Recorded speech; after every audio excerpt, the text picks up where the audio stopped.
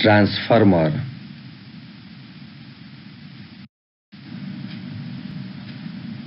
The device which change voltage of AC is called transformer or the instrument which change voltage of alternating current is called transformer.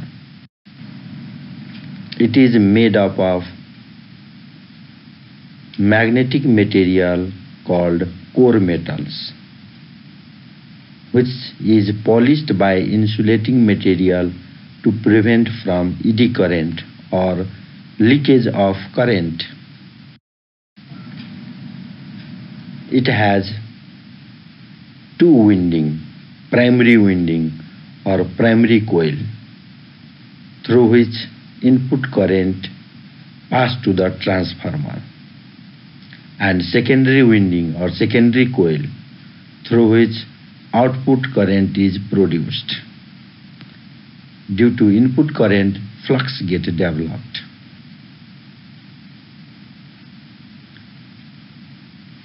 Its primary and secondary coil having different number of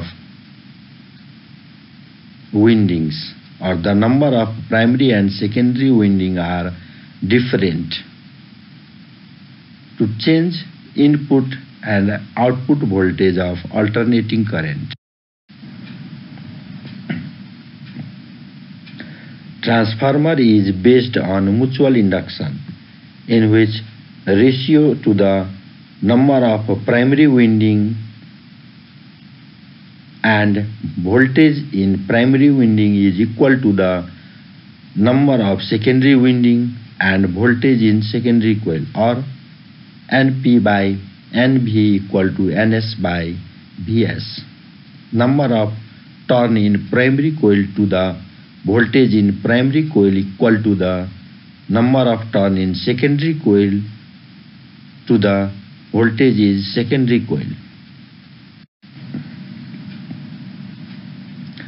Transformer is of two types step up transformer and step down transformer.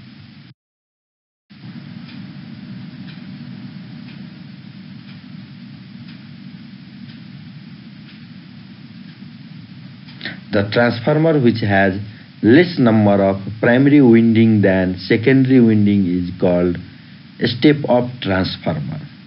In step-up transformer, number of secondary coil is more than number of primary coil or number of primary turn.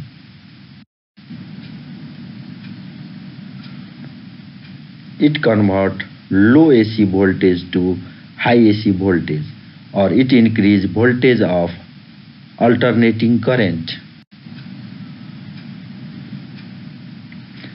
The transformer which has more primary winding than secondary winding is called step down transformer or it has more number of primary coil than secondary coil. Step down transformer convert high voltage AC to low voltage AC or it degrees voltage of alternating current.